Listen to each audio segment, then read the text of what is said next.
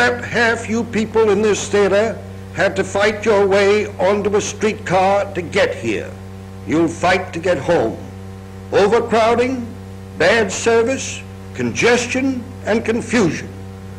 We're just beginning the war against Japan.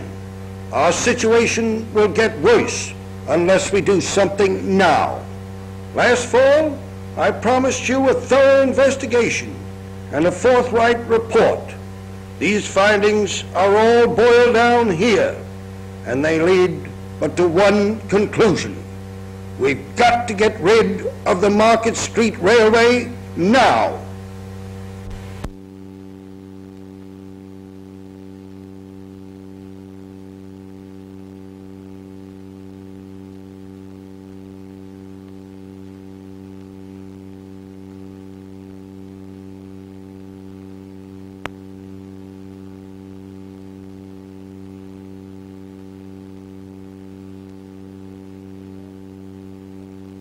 Day in and day out, you people have to fight your own transportation war.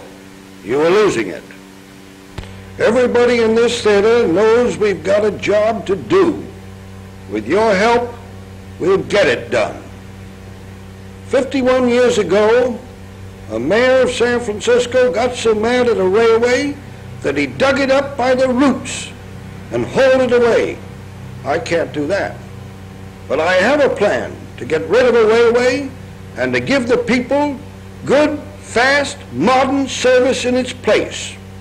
In less than three years, the Market Street system will pay for itself and belong to you people. No bond issues, no money out of taxes. If you've been reading the newspapers, you'll know about it.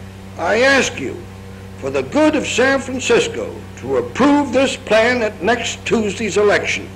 Vote yes on Proposition 1.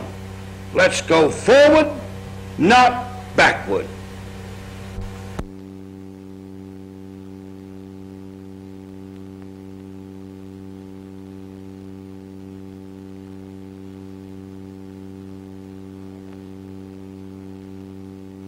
Now that was looking backward. Let's start looking towards the future. Let's clear the tracks for modern transportation. First, more buses.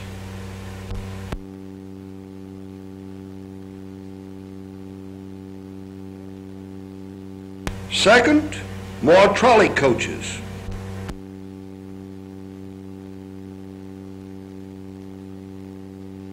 Third, get rid of some of those streetcars and tracks on Market Street. As you see, I have on my desk a daily reminder to get things done. 122 days gone, 1,339 to go. It's time to get this job done and get on with the next. Let's go. Action now.